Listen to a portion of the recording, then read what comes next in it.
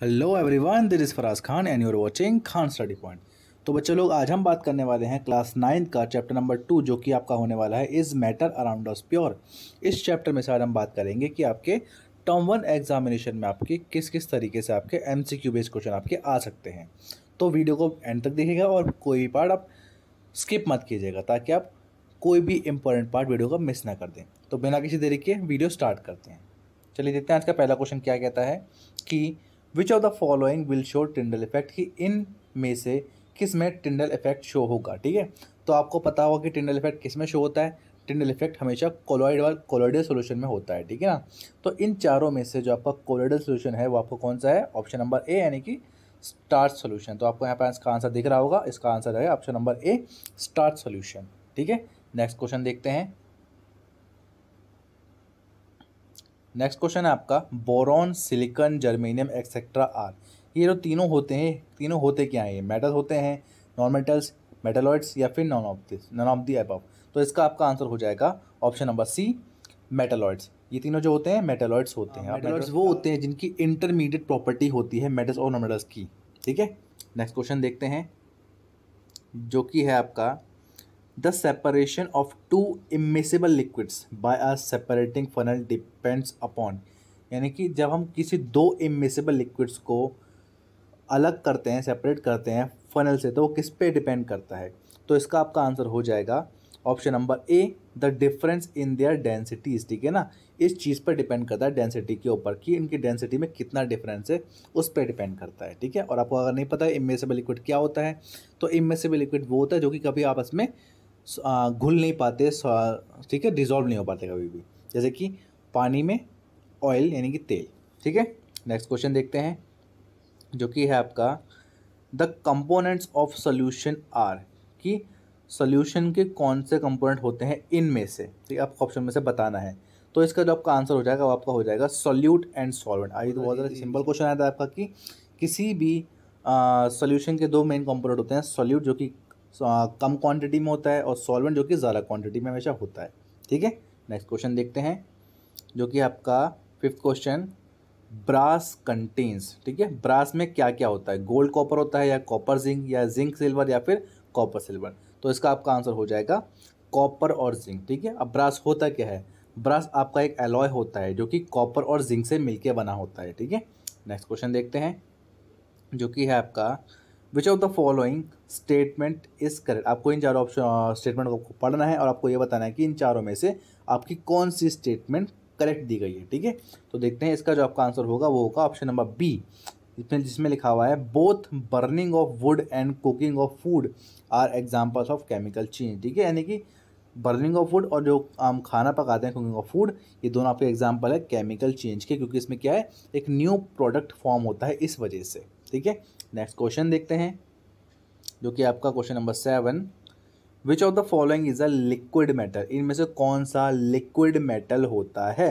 Copper mercury bromine या फिर silver तो इसका आपका आंसर हो जाएगा मर्क्यूरी। ठीक है आपने देखा भी होगा कि आपके थर्मामीटर में ये लिक्विड से पाया जाता है एट, एट रूम टेम्परेचर ठीक है? क्योंकि तो ये मेटल भी होता है इस वजह से।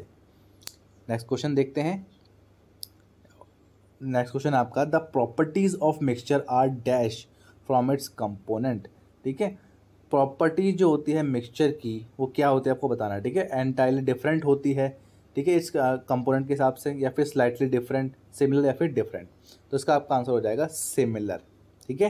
नेक्स्ट क्वेश्चन देखते हैं, जो कि है आपका question number nine the process of cooling a hot concentrated solution of a substance to obtain crystal is called process क्या कहलाती है किसी चीज़ कूलिंग अ हॉट कंसनट्रेटेड मतलब किसी हॉट कंसनट्रेटेड सोल्यूशन को कूलिंग करके, ठीक है, उसको क्रिस्टल फॉर्म में लाना.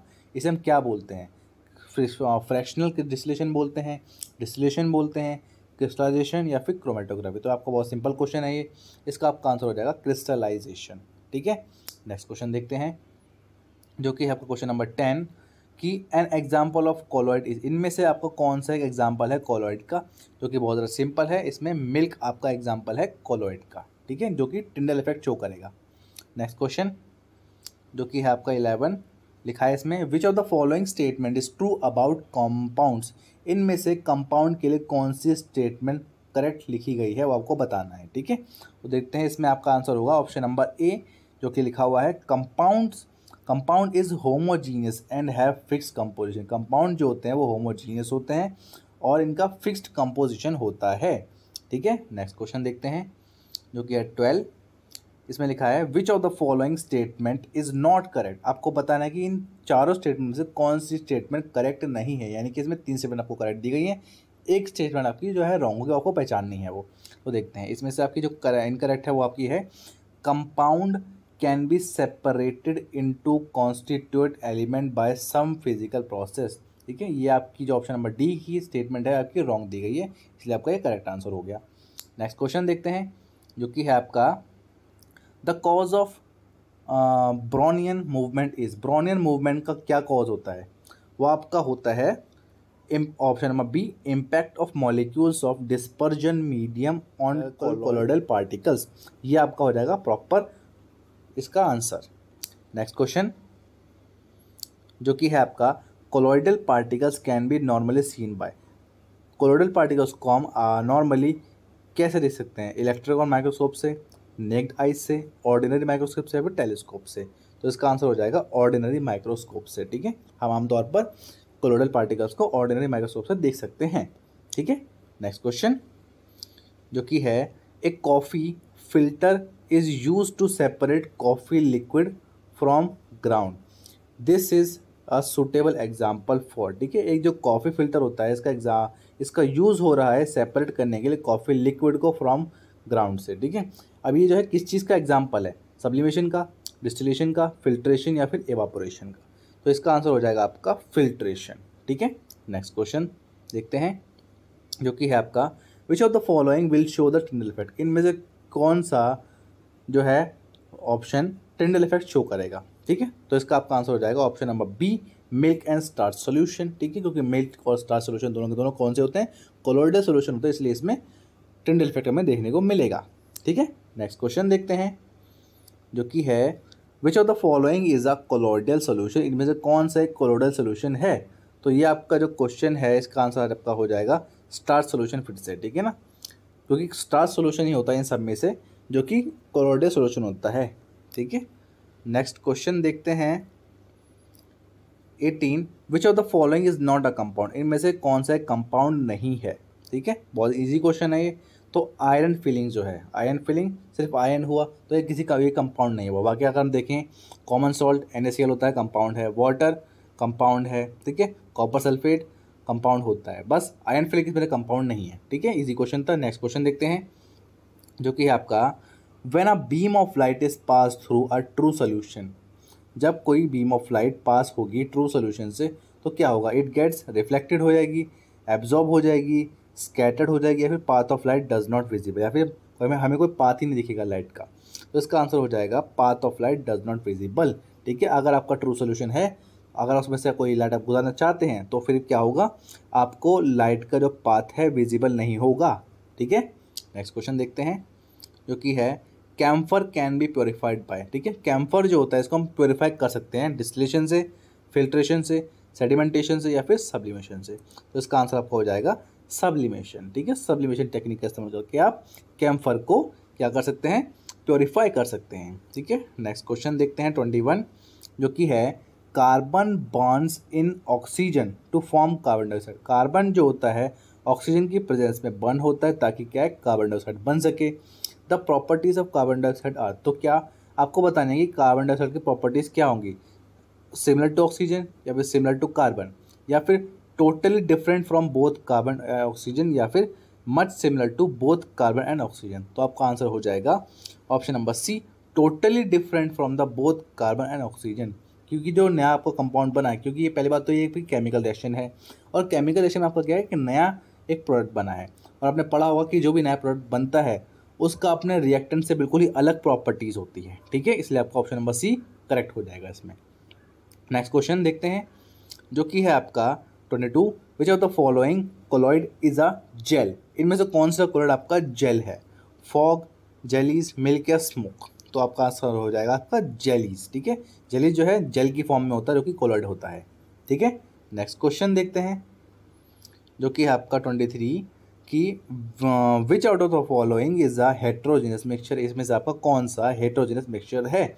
बहुत ही ईजी क्वेश्चन है ये, देखते हैं। आयोडाइज टेबल सॉल्ट ठीक है? इन चारों में से आयोडाइज टेबल सॉल्ट जो है जो कि आपका ऑप्शन नंबर सी है ये आपका हेट्रोजीनियस मिक्सचर होगा। नेक्स्ट क्वेश्चन देखते हैं जो कि है आपका which of the following is not a compound इनमें से आपका कौन सा एक कंपाउंड नहीं है?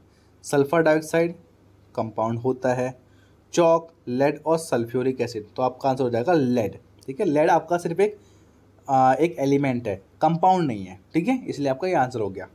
नेक्स्ट क्वेश्चन देखते हैं ट्वेंटी फाइव जो कि है which of the following statement is not true इनमें से आपको बताना कि आपकी कौन सी स्टेटमेंट आपकी ट्रू नहीं है, यानी कि आपको रॉन्ग स्टेटमेंट आपको इसमें पहचाननी है।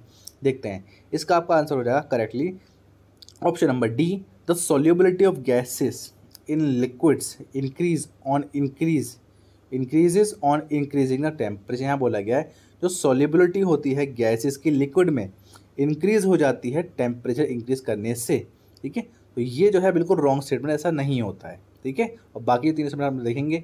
ऑप्शन नंबर ए बी और सी वाली ये आपकी ट्रू स्टेटमेंट होंगी, अगर आप इसे देख, देखेंगे, पढ़ेंगे तो। ठीक है? नेक्स्ट क्वेश्चन देखते हैं बेटा, जो कि है आपका a mixture of alcohol and water can be separated by हम वाटर और एल्कोहल के सोल्यूशन को अलग कर सकते हैं किस टेक्निक से?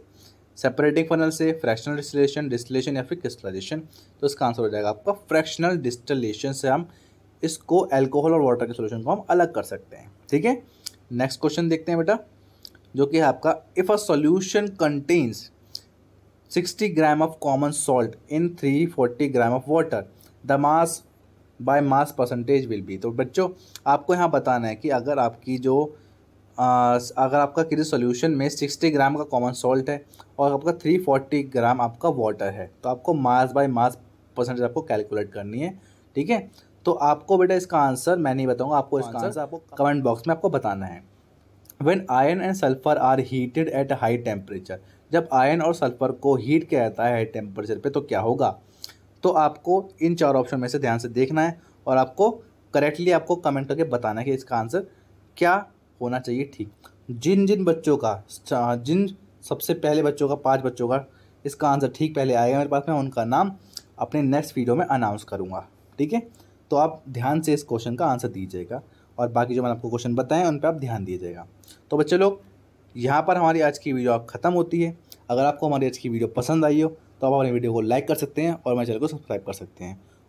और साथ ही साथ आप बेल आइकन को प्रेस कर दिया करिए ताकि मैं आगे फ्यूचर में जो भी आपको वीडियो डालूँगा उसकी नोटिफिकेशन आप, आप तक सबसे पहले पहुँच सके। चलिए बेटा मिलते हैं जब आपसे नई नेक्स्ट वीडियो में एक नए टॉपिक के साथ में तब तक के लिए till then take care bye